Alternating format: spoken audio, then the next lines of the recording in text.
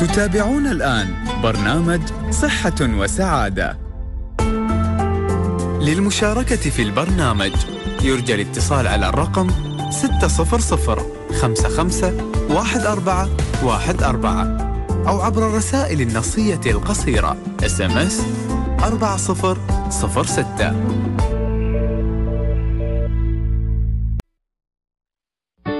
صحة وسعادة.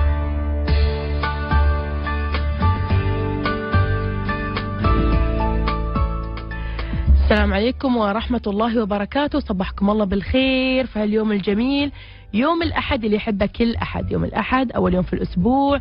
ندخل إن شاء الله بطاقة إيجابية وبروح عالية عشان يمشي معنا باقي الأسبوع مثل ما نحب. صبحكم الله بالخير. هذا برنامجكم برنامج صحة وسعادة اللي تقدم لكم هيئة الصحة في دبي بالتعاون مع إذاعتنا المتميزة دائما وأبدا إذاعة نور دبي. اليوم أنا معاكم في البرنامج. دكتورة ندى الملا محمود غائب مسافر. نتمنى إن شاء الله يرجع بالسلامة. فراح أكون متواصلة معاكم إن شاء الله خلال ثلاثة أو أربعة أيام هالأسبوع. غبت عنكم فترة الأسبوع اللي فات كنت مشغولة في الدوام بس إن شاء الله رجعت لكم هالأسبوع. فصبح عليكم بالخير وأتمنى لكم يوم جميل. أول شيء أرحب بالطاقة اللي معاي اليوم. اليوم عندي مخرج أتوقع أول مرة تكون معي تفصح وسعادة ناصر صح؟ هي عندنا المخرج آه ناصر السليمي. مخرج معانا اليوم في الحلقة. صبحك الله بالخير. ومعانا ميرا الغفلي المنسقة دائما وأبدا. ميرا الجميلة صبحت الله بالخير يا ميرا يعطيك ألف عافية. فيا مستمعينا الجميلين طبعا موضوع الساحة اليوم من نشينا الصبح عن موضوع التقلبات الجوية والمطر والناس زعلانة من الصبح وتقول ما يعني المطر اللي قالوا عنه؟ بس بداية صحة وسعادة مثل ما تعرفون برنامجنا. إحنا ما نركز بس على الصحة عشان ما يكون ممل. نحاول مواضيع اجتماعية مواضيع تهمكم مواضيع الساعة. وهكذا.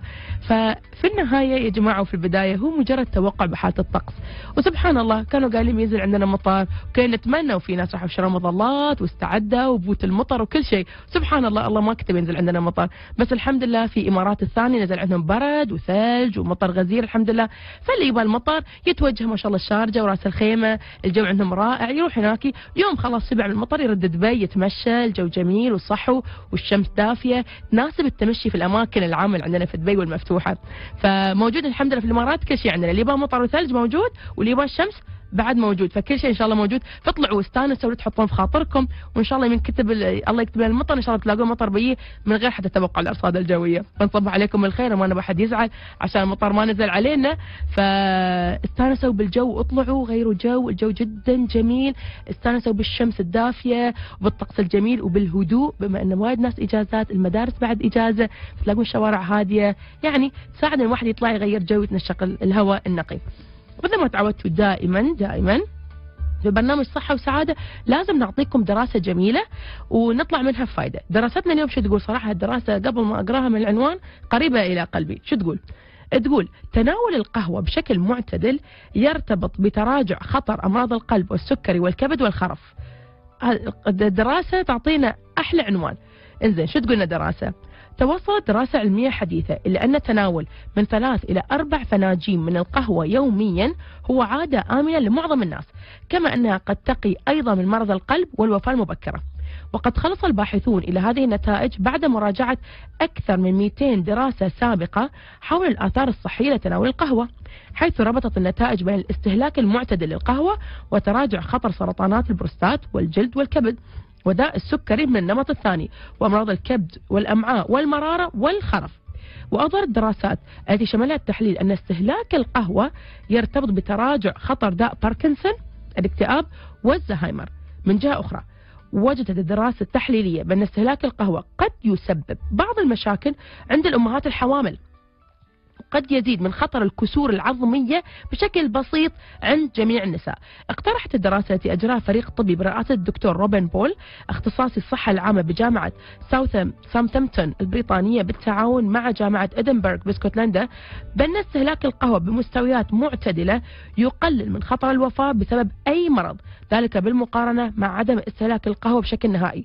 جرى نشر نتائج الدراسة مؤخرا في المجلة البريطانية للطب BMJ طبعا هذه الدراسة مثل ما قلت لكم قريبة جدا إلى قلبي لأن أنا من عشاق القهوة.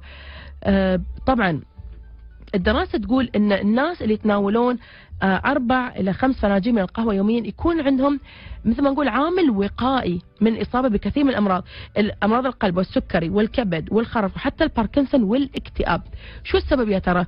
القهوة. فيها مادة الكافيين وفيها مواد أخرى تساعد على منع الأكسدة أو منع التأكسد آه، منع التأكسد هي عبارة عن مواد موجودة في القهوة وبعض الأشياء مثل حتى في الشوكولاتة موجودة تساعد على القضاء على المواد اللي في جسمنا اللي ممكن تسبب هذه الأمراض، ممكن تسبب سرطانات، ممكن تسبب اكتئاب، ممكن تسبب زهايمر، ممكن تسبب أمراض القلب، ممكن تسبب لنا السكر. ولكن نرد نأكد إن تناولها باعتدال رقم واحد. رقم اثنين عشان أستفيد من هذه الدراسة، أول شيء اتناولها باعتدال يعني أربع فناجين شيء. يعني شيء معتدل. رقم واحد. رقم اثنين نحرص إن الحليب اللي نضيفه للقهوة للناس اللي ما تحب القهوة تكون آه، سوداء يحبونها شوي مخففة بحليب. نحاول الحليب ما يكون كامل الدسم في أربع أكواب أو خمس أكواب خلال اليوم عشان ما نستهلك سعرات حرارية وايدة. نحاسب شوي من السكر نحطه في هذه القهوة عشان ما نستهلك سعرات حرارية آه، كثيرة.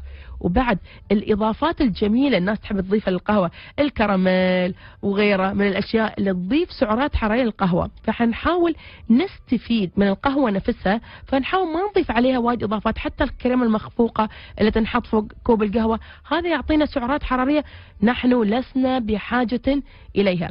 فنحاسب من هالنقطة. صح الدراسة تقول القهوة مفيدة بس يعني نحاول نحاسب من الناحية الأخرى بخصوص السعرات الحرارية ممكن تينا من كوب القهوة. تمام؟ ممتاز.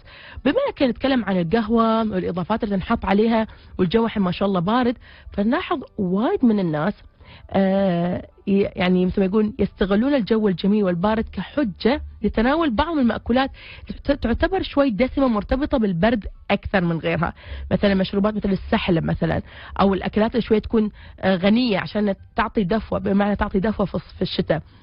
طبعا هذه حالات الشتاء يعني أنا لو قلت المفروض ما ناخذها أو ما نستهلكها هذه يعني أنا قتلت روح الشتاء عندنا في الإمارات.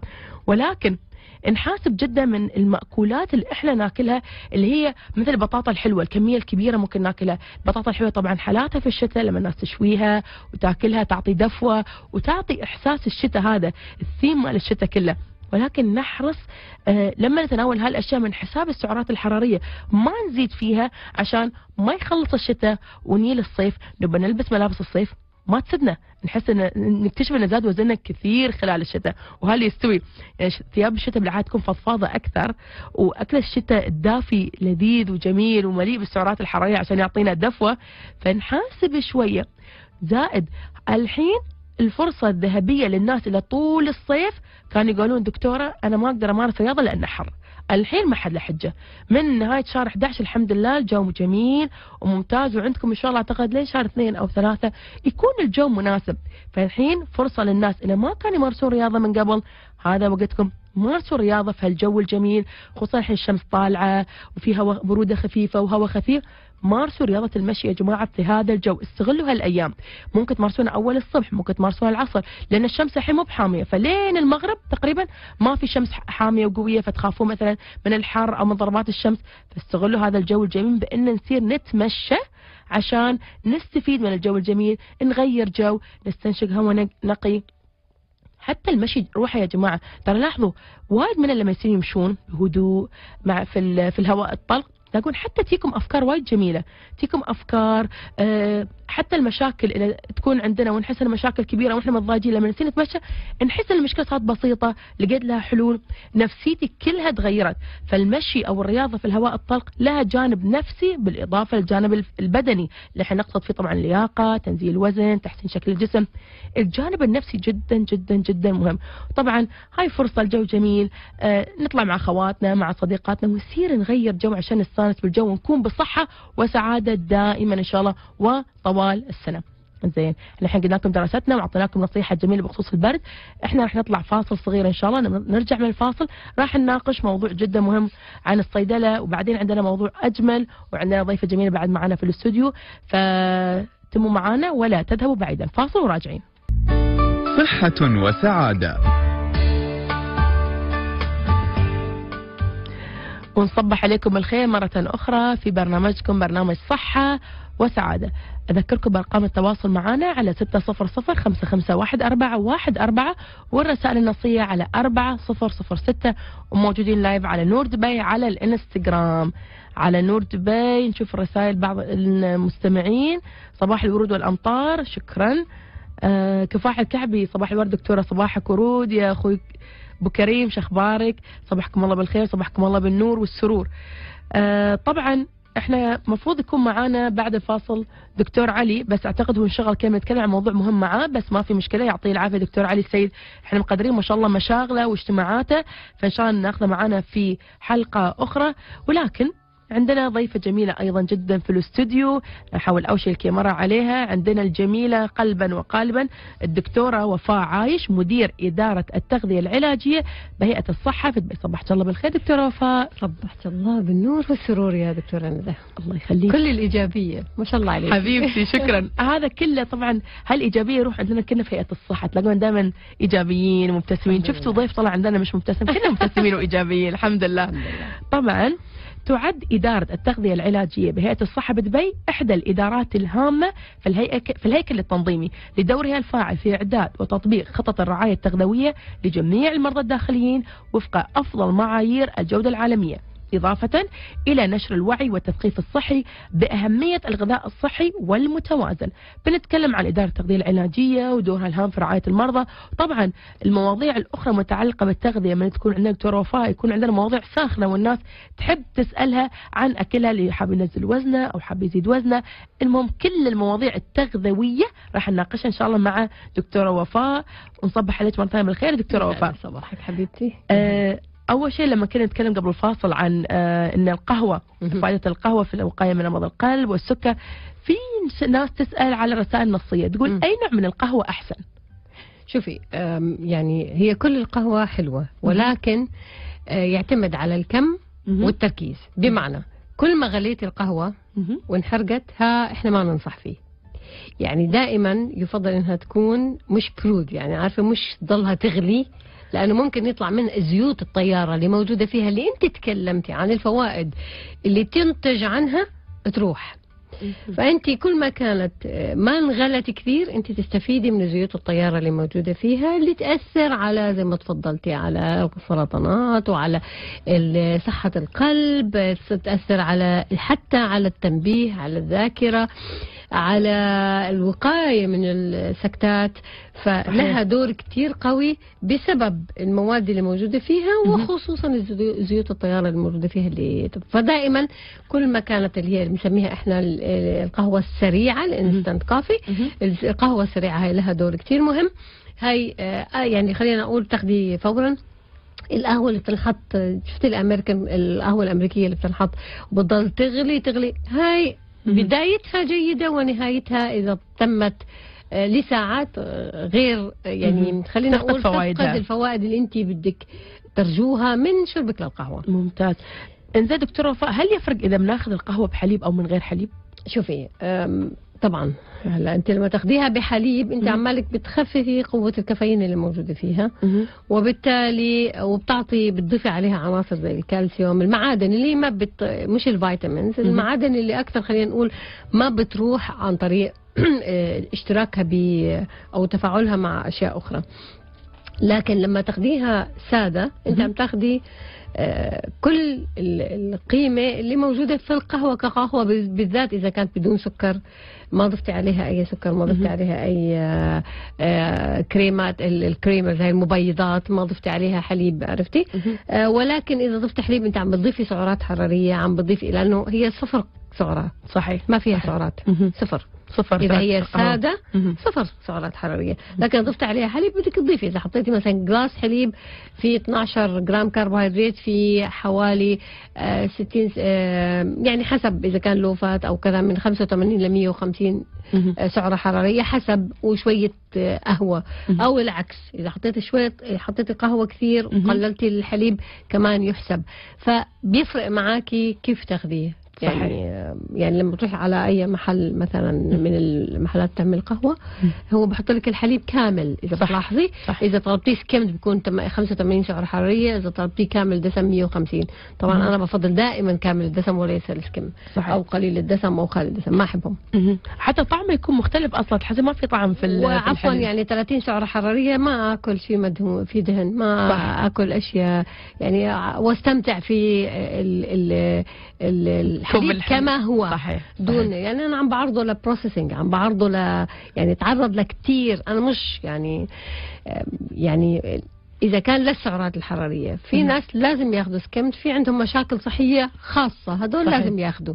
لكن الناس العادية اللي بدها تخفف بس وزن يا جماعة روحوا على أشياء ثانية صحيح خففوا. مكان ثاني ولكن خذوا الحليب كامل الدسم عشان نستفيد من فوائد الحليب صحيح إنزين دكتوره وفاء حنتكلم عن ادارتك إدارة التغذية العلاجية نعم آه نتكلم عن أهمية ومهام إدارة التغذية العلاجية وشو دورها في الخطط العلاجية للمرضى ومدى الدور الأساسي اللي تلعبه التغذية العلاجية كخطة علاج لكل مريض؟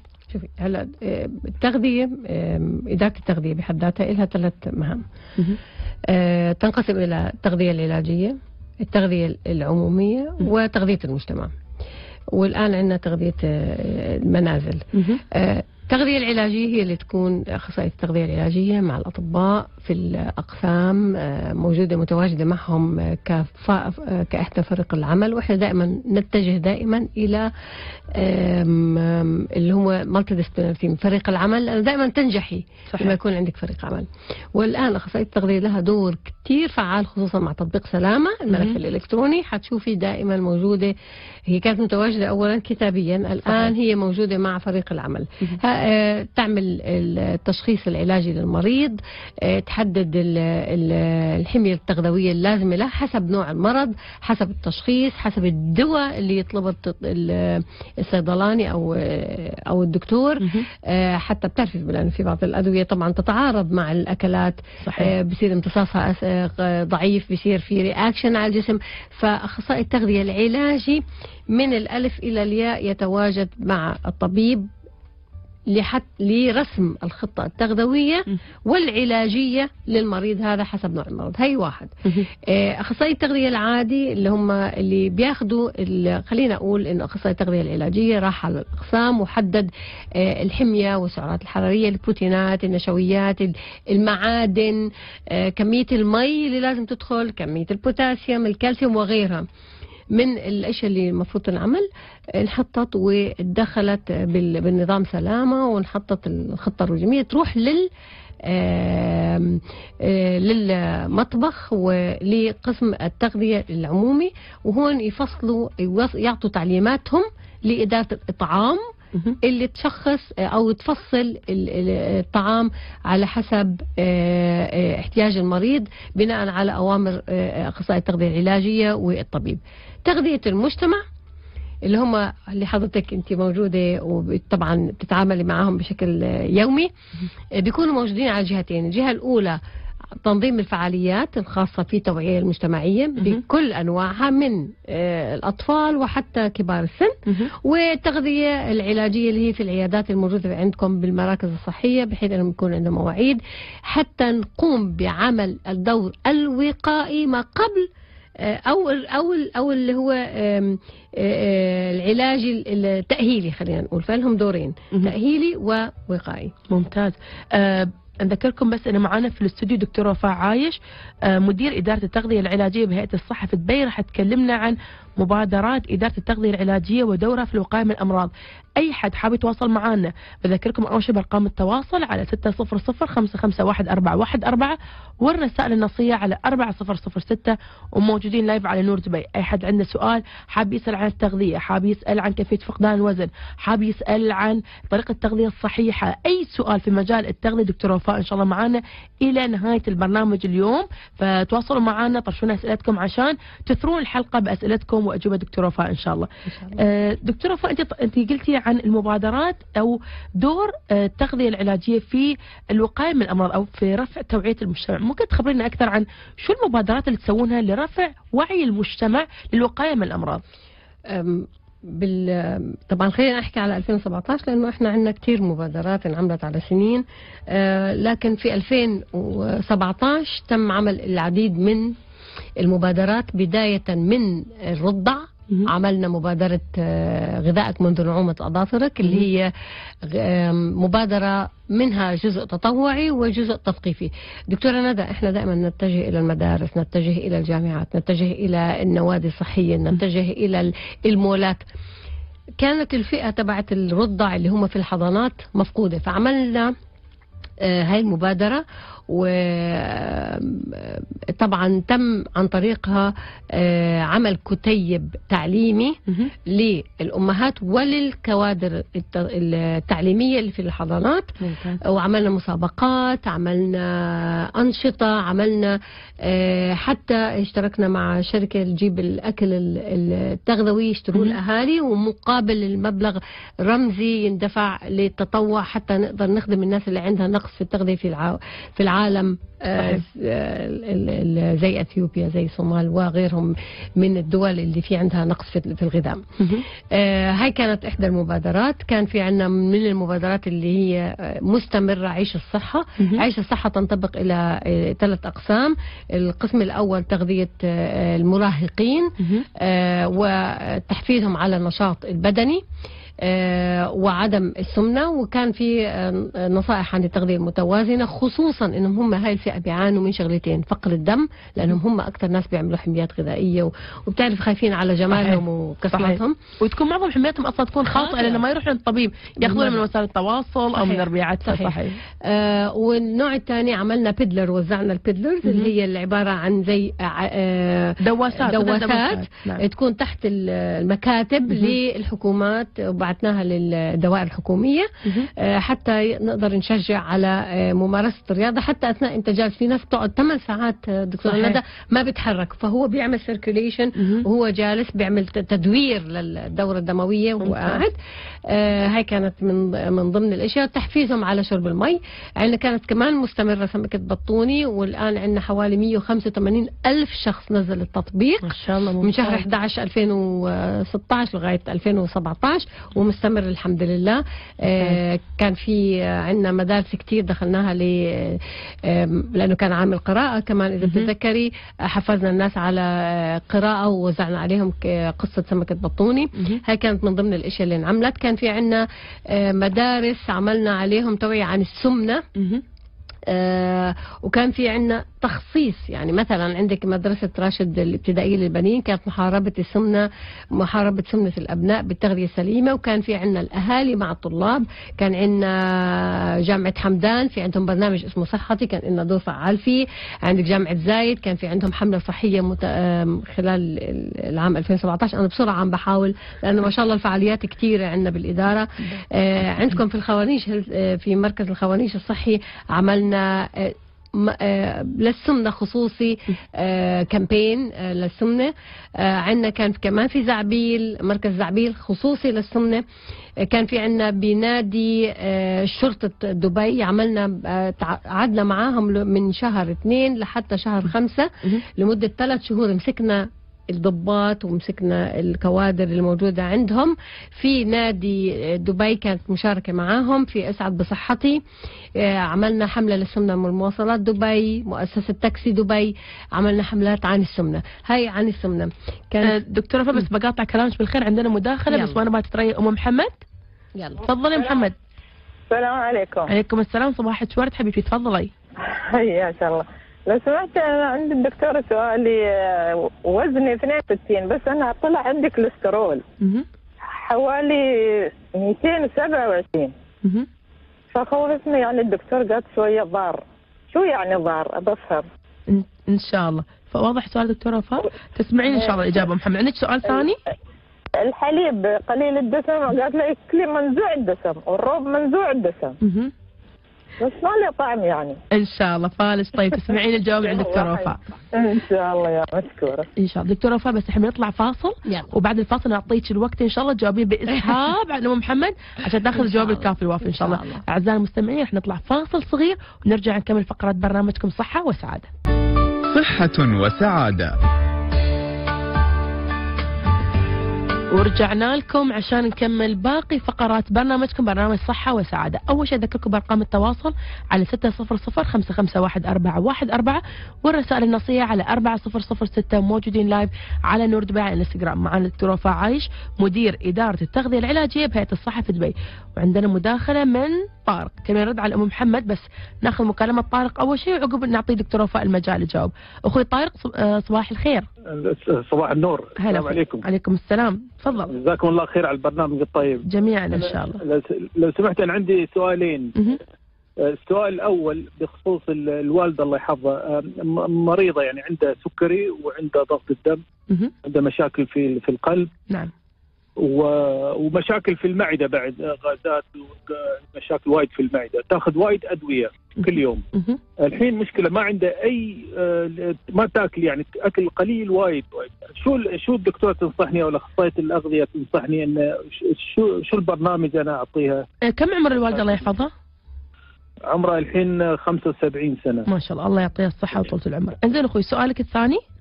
السؤال الثاني عندي بنتي وهي مراهقة يعني عمرها س- 16 سنة. بعد ما ما تاكل وايد آه، أكلها ضعيف وايد قليل. وما ما تشرب سوائل وما تاكل أي خضار وسلطات ما تحب السلطة والخضار ولا أي شيء. في هالمشكلة الأزلية بين الأهل وال... وال... والمراهقين دائما أكلهم يكون قليل والأهل إحنا ما نحب يعني ما نرضى نلاقيهم ما يأكلون بس ما ما عليك أخوي طارق. فالك طيب إن شاء الله.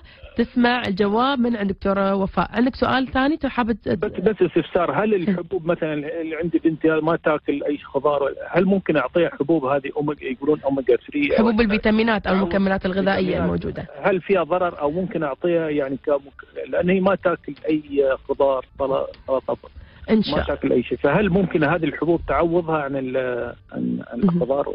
إن شاء الله فالك طيب تسمع الجواب إن شاء الله أخوي طارق شكرا آه، دكتورة وفاء أول شيء نجاوب على سؤال أم محمد اللي كانت تقول وزنها 65 وعندها كوليسترول عالي فكانت آه،. آه، تسأل مثلا كيف تنزل الكوليسترول شو معنى الكوليسترول الضار كانت تسأل هلا الكوليسترول يتكون من نوعين النوع الأول الكوليسترول الجيد. اللي هو ال HDL والكوليسترول السيء الكوليسترول السيء اللي إذا كان مرتفع هي الكامل عندها 227 يعني هو مش كتير سيء على فكرة مهم. يعني. آه بدها شوية نشاط وحركة وهلأ بنتكلم. مم. آه ولكن الكوليسترول السيء لا قدر الله لو كان فوق ال 150 بكميات كبيرة. ممكن يؤدي وحضرتك عارفة ست العارفين إنه يؤدي إلى انسداد الشرايين وممكن يؤدي لا قدر الله إلى مشاكل في القلب. هي في غنى عنها. مهم. إضافة إلى أنه إلى علاقة مباشرة بالسكري. آه، فإحنا ننصح أنه دائما يكون عندها وعلى فكرة عملية الكوليسترول آه، آه، أنا ما يعني ما بنصح حتى مرضى الكوليسترول أنهم ياخذوا low fat أو قليل دسم أو. قليل دسم.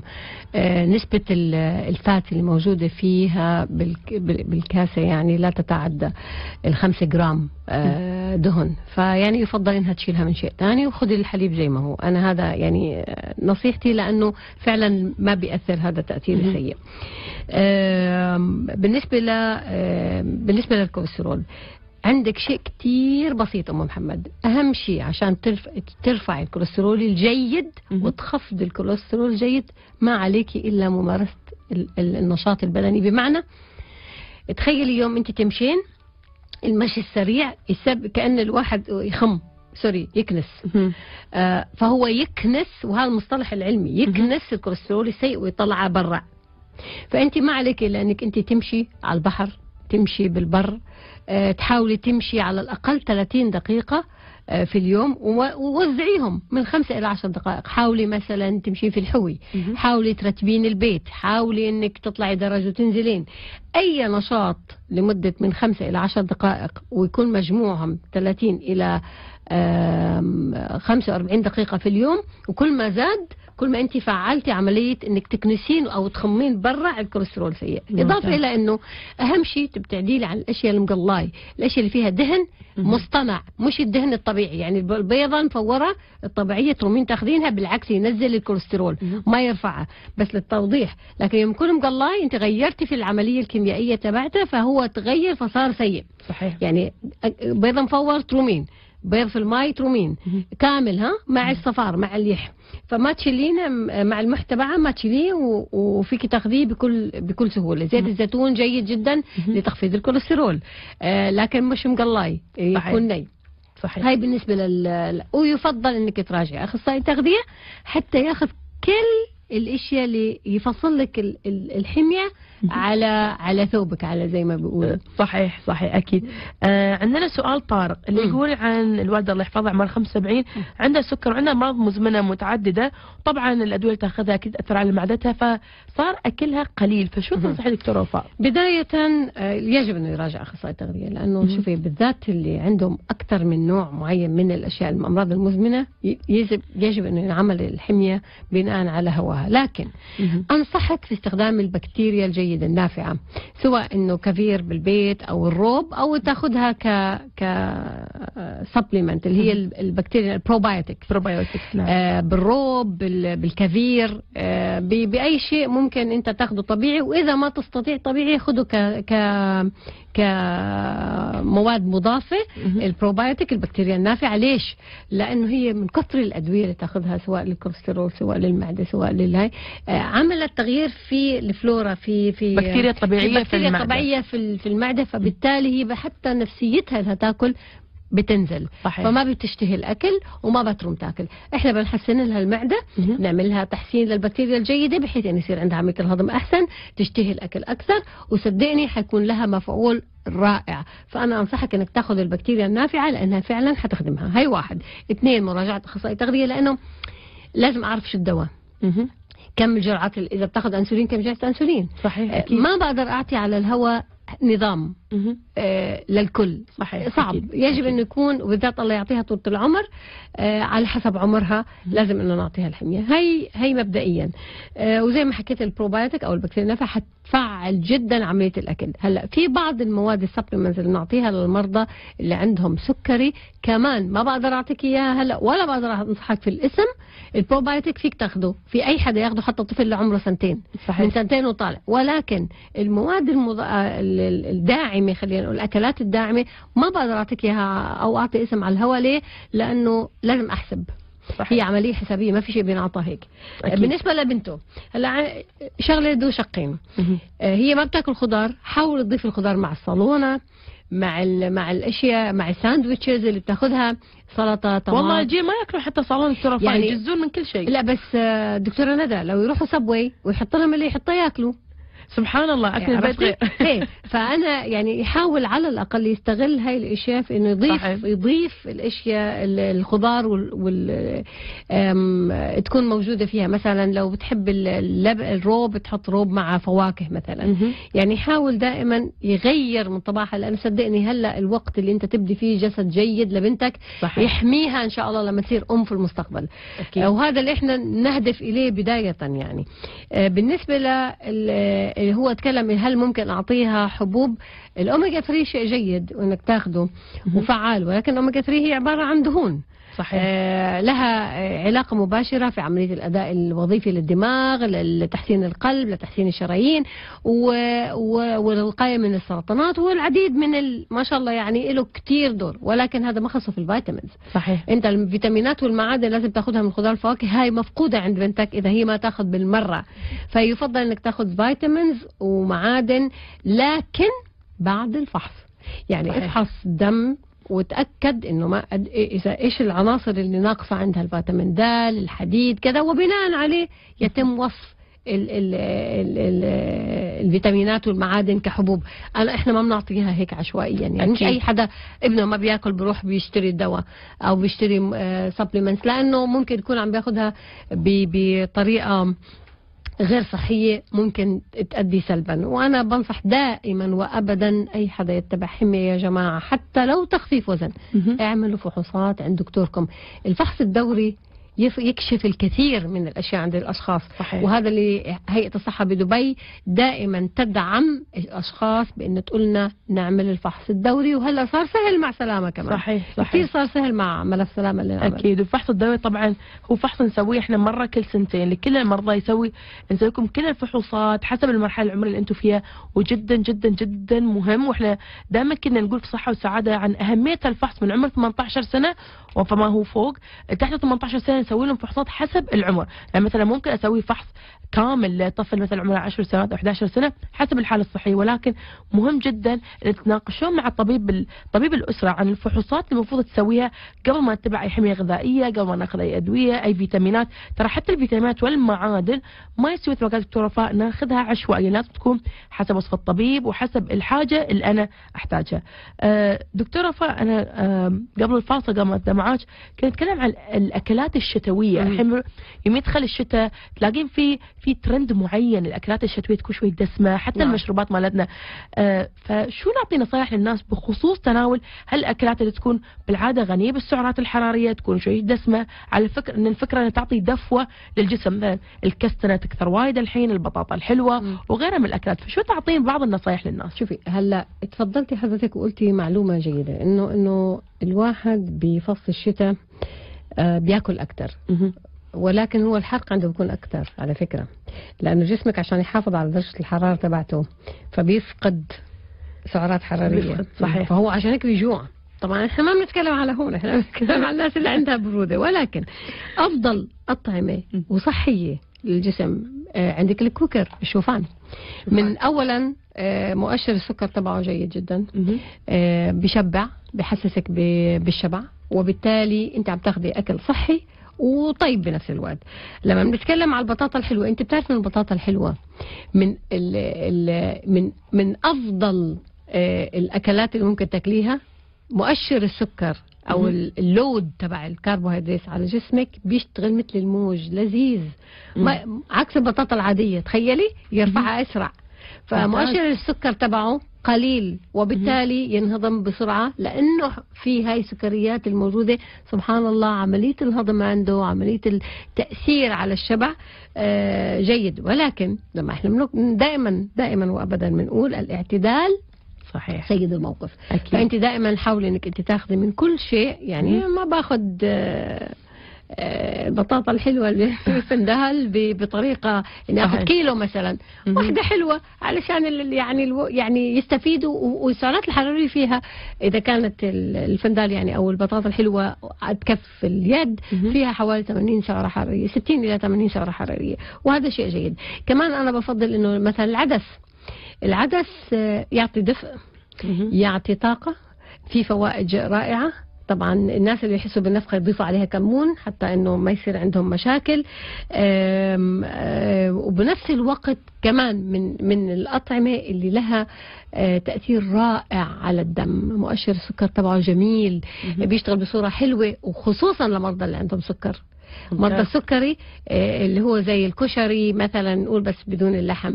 آه، ال- المجدرة عند بعض ال- آه، عند بعض دول. الشام. نعم. الدال عند الهنود.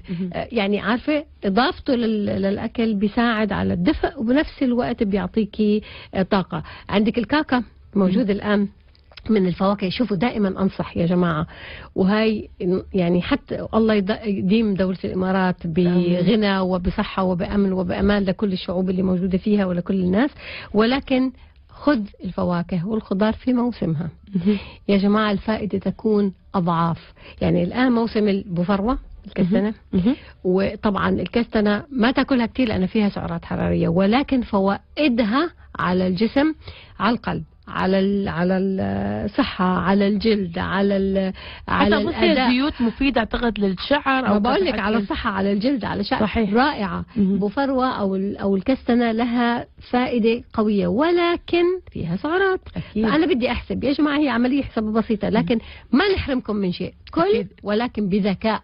صحيح. آه، وكل الفاكهة اللي بموسمها لأنه فائدتها ما بتصدق كيف بتكون أضعاف آه، لما تاخذ في الموسم تبعها صحيح صحيح. آه بعدنا في مود الشتاء دكتورة مم. وفاء طبعا الناس الحين في الشتاء السهر بالليل يستوي أحلى والناس تقعد برا.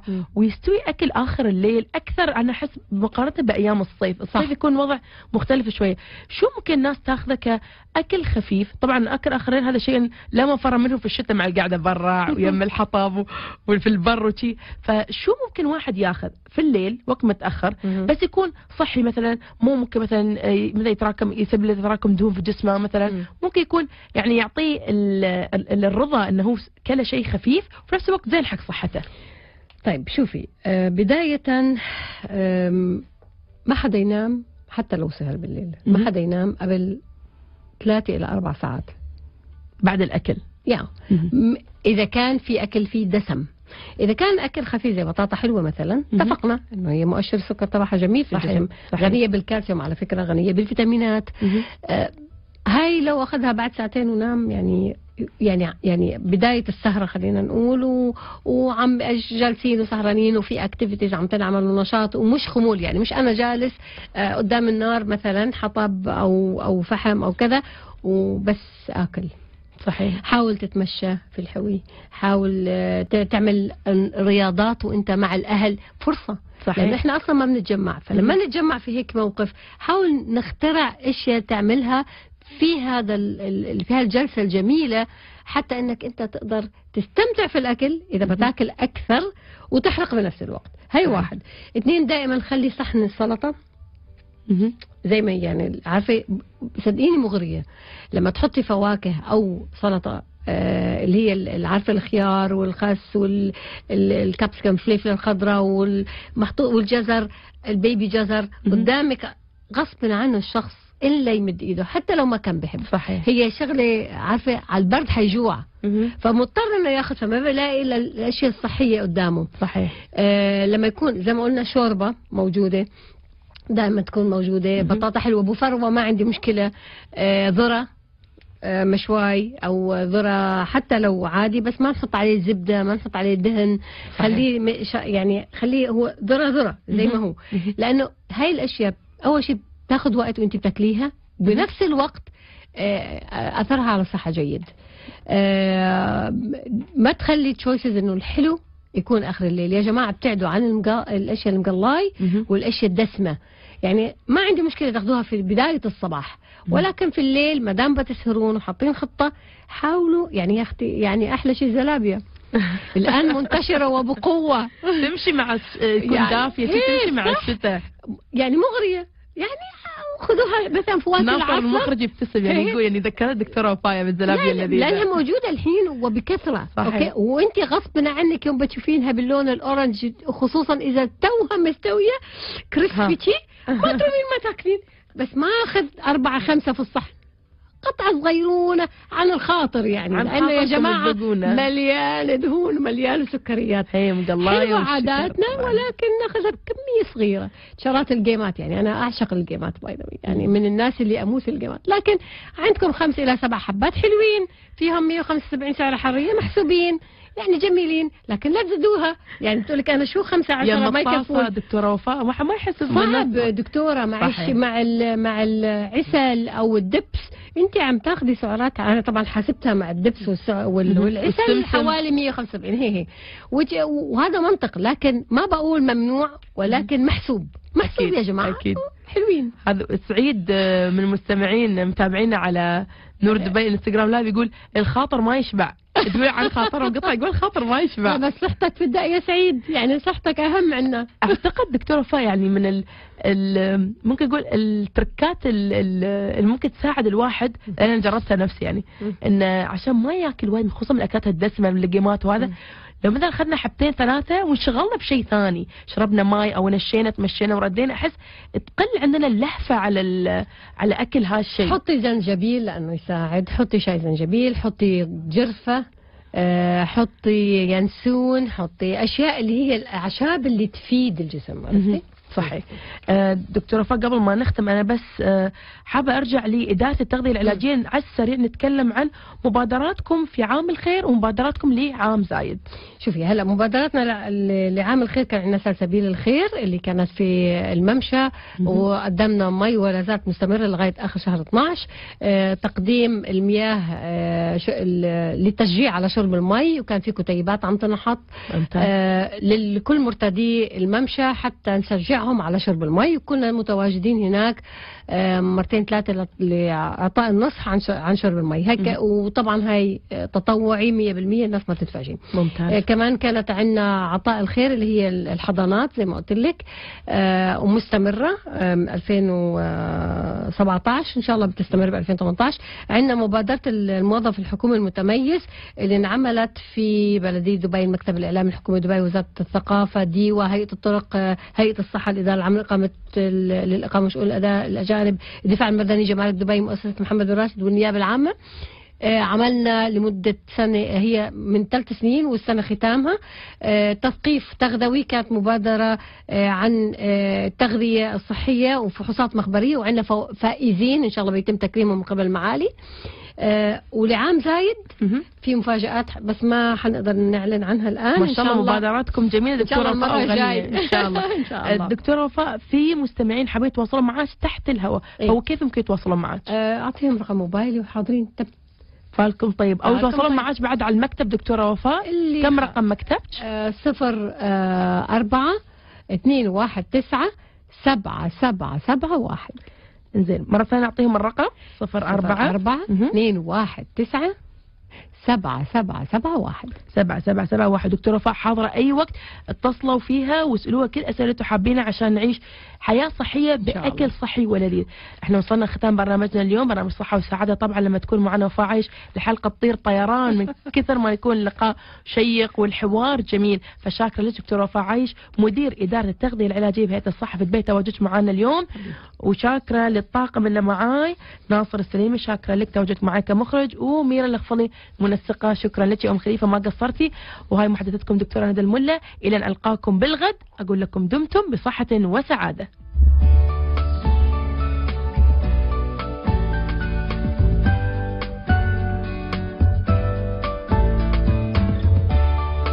صحة وسعادة بالتعاون مع هيئة الصحة بدبي.